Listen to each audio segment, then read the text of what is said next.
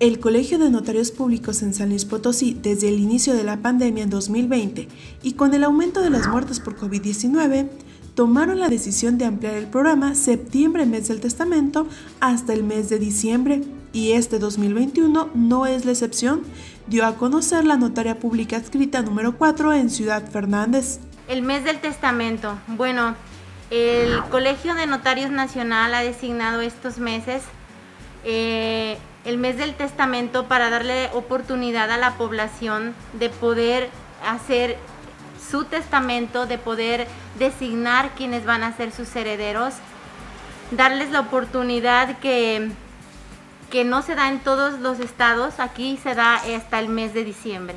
Desde el año pasado estamos, eh, eh, bueno, el colegio designó que fuera hasta el mes de diciembre la pandemia pues este pues yo creo que ha venido a tocar mucho a nosotros en todos nuestros aspectos y en la cuestión sensible de que al momento de perder un, familiar, un, amigo o algo, bueno pues eh, la cuestión de la vida ha sido muy desgastada en este tiempo, ¿verdad?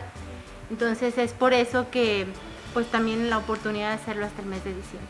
Señaló que esta es una oportunidad que toda la población puede aprovechar a un costo muy accesible y que además evitará heredar problemas. Es de 1.900 pesos. Ese es el costo ya con impuestos, ya con todo, ese es el costo en general en el estado de San Luis Potosí.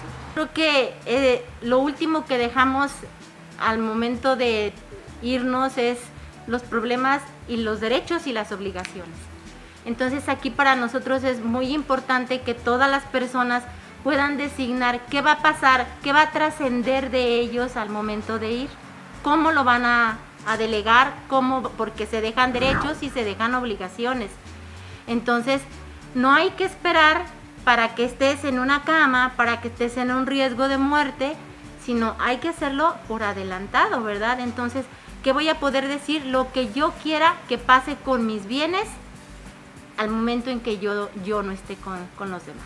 Ruth Belinda Garcini Berti detalló los requisitos para realizar este trámite dependiendo de cada situación. Bueno, los requisitos es primero tener la voluntad, estar en un estado físico y mental eh, óptimo para poder otorgarlo. Y eh, otra de las cuestiones que se necesitan va a ser el credencial del lector y la curva. En el caso de que las personas decidan hacer legados. Legados es darle a alguien en especial ese regalo, porque el testamento a fin de cuentas es un regalo para las personas que amamos.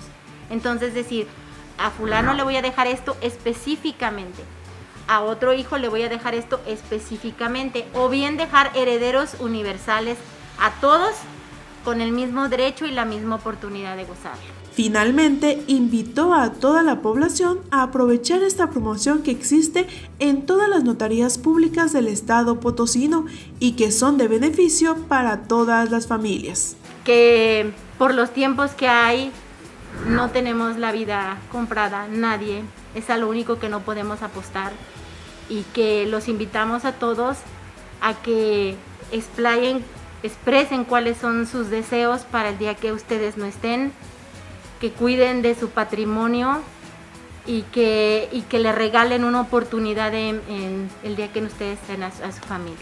Para Noticieros Cable RB, Ana Ramos.